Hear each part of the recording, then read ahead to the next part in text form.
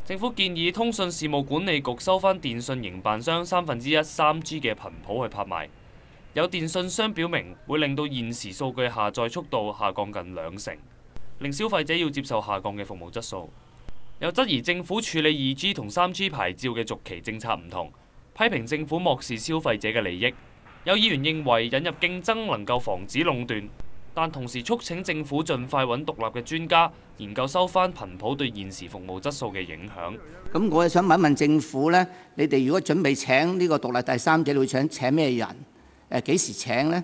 啊，呢三個月誒嘅情況之下，可唔可以做得到呢？所有熟悉呢啲都同可能即係右手邊嗰扎團體好有關係㗎啦。你你點樣確保呢個顧問真係獨立？即係又唔會係傾向政府，又唔會為啲大財團背後有利益關係而偏偏頗有關嘅研究。誒，夏生。誒，政府有一個既定嘅程序嘅，即係喺佢哋即係如果入標嘅時候咧，佢哋要講清楚。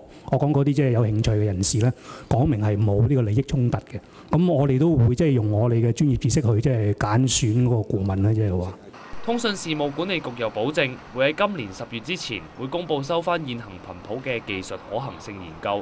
又強調難以再有新頻譜嘅供應。頻譜供應係非常之緊張嘅。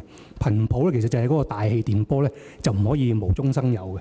地都可以製造出嚟喎，頻譜冇得製造嘅。咁而家我哋咧喺香港大概手上係有六百兆赫嘅頻譜咧，睇得到將來咧係會非常之緊張。三 G 頻譜拍賣關注組就憂慮，重新競投頻譜會令電信商成本上升，恐怕會轉嫁俾消費者。認為政府應該俾電信商免費續牌。香港寬頻電視記者梁浩然報導。